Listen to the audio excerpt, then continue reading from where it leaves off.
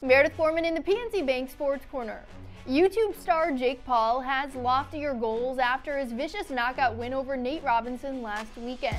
After wins over two YouTube stars and an NBA player, Paul wants to take on one of the greatest fighters in combat sports, telling ESPN, quote, I am dedicating my life to beating Conor McGregor. Financially, it already makes sense. Financially, I'm already one of the biggest prize fighters, and there's only a couple more bosses to check off and to beat and to conquer.